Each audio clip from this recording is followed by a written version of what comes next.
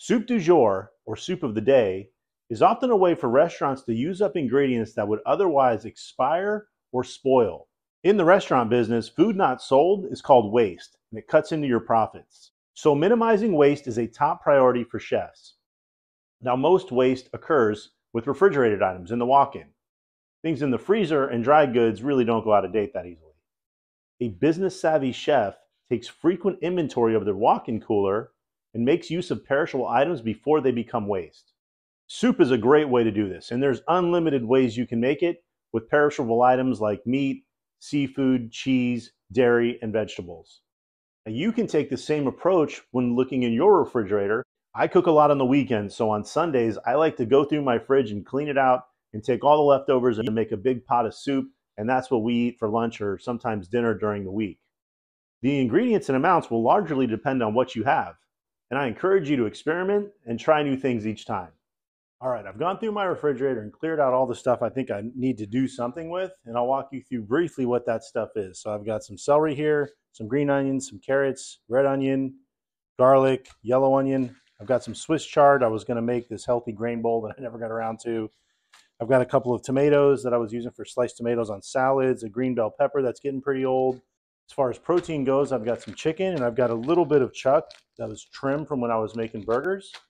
I've got some bread that's that's going to go bad soon. I'm going to stale this and put it into the soup. Some clarified butter that's been in there for a long time. I'm going to use this to saute my vegetables. Some tomato paste, some fresh marjoram, and then some chopped parsley. So I'm going to go ahead and clean all these items and dice them up, and then I'll be right back and we'll make the soup. I'm going to walk through each phase of this soup. So first we've got our protein. I've got some bacon, a little bit of steak trim, and some chicken. You could do sausage, pork, really anything, ground beef, any, any kind of protein will work great here. So here's my mirepoix. I've got some yellow onion, green onion, carrots, celery, and green bell pepper. Now next, I've got some vegetables I'm going to add in after the aromatics. I've got chopped garlic, some diced tomatoes, and some Swiss chard that's been chopped up.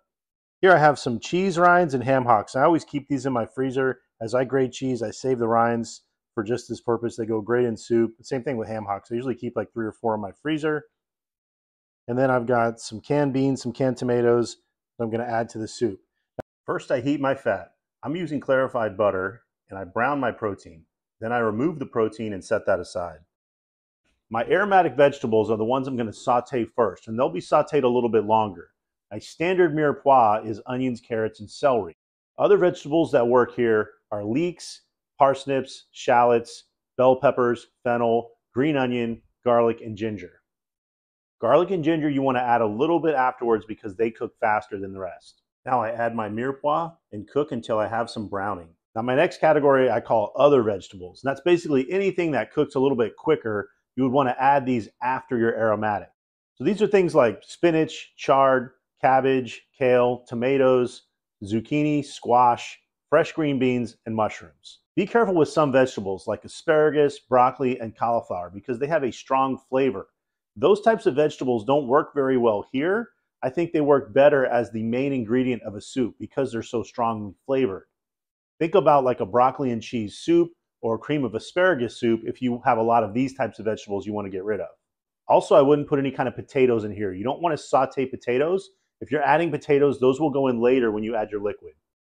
Now I add my other vegetables, and here is where I add any veggies that aren't cooked as long as the mirepoix. Now I add my liquid, which in this case is chicken stock, but you can also use water, and I will also add canned tomatoes or potatoes at this step if I'm using them. Now I like to call this category flavor enhancers. And these are things that are going to help flavor the soup that go in when the liquid is added. Now that's canned tomatoes, uh, ham hocks, cheese rinds, tomato paste, uh, dried chili peppers, soup bone, seafood shells, and then any kind of herb bouquets or sachets that you're going to put in and take out later. Now my flavor enhancers. Here's my ham hocks, and here are my cheese rinds. After we simmer for about 45 minutes, now I'm going to add my canned beans and any cooked grains or bread. Again, it's up to you and what you have on hand. So here I've got some, some leftover bread that I've diced up and put in the oven at 175. I'm just trying to get all the moisture out of that. I want to stale this bread and dry it out. I don't want it to be super, super toasty, but I do want it to be dry. The dried bread will break up in the soup and act as a thickener. You could also grind up some tortillas or crumble biscuits. There are two other categories of items you can put in the soup at this point. That's seafood and dairy. So seafood I have separated from land proteins because seafood cooks a lot faster. So you would want to put seafood in towards the end of the soup, about five or 10 minutes, depending on the type of seafood because it cooks relatively quickly. Also, you would want to add dairy towards the end. And that's things like adding some cream, some cream cheese, some milk, some grated cheese. Those things work really well added at the end. I just didn't have any, so I'm not putting them in my soup today, but they can absolutely go in. And then I've got my fresh herbs, and I really just kind of chop up whatever fresh herbs I can find. This is parsley and marjoram. I have a little bit of basil I think I'm going to chop in here as well. And I'm going to throw all this in at the, uh, at the end when I finish the soup.